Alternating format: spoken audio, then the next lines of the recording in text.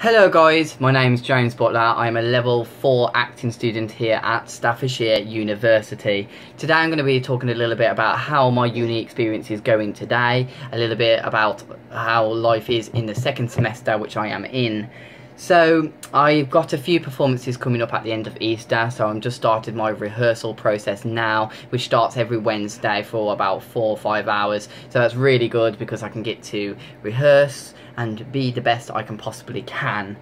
Um, my course is going really well at the moment. It's a little bit tough in some areas, but you know, when you come to uni, you got to expect that um, to be to be able to buckle down. So it's really good to be able to, you know, be with people who want to be there as much as you want to be there as well. So that's really good.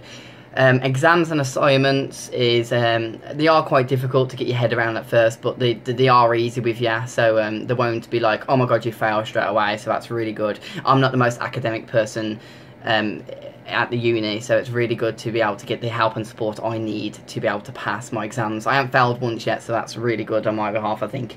so that's good. Cooking wise, um, I am starting to learn to cook a few things on my own, so it's not too bad on that behalf. I'm, you know, Asda's just not down the road, and um, Aldi's just up the road as well. So it's really good to be able to start experimenting with new foods honestly, I do still cook ready meals. I do cook, cook pizzas and all that. I mean, you're a student, you're going to, aren't you? But it's really good to be able to experiment with different foods and um, try and eat a little bit more healthy if you can as well.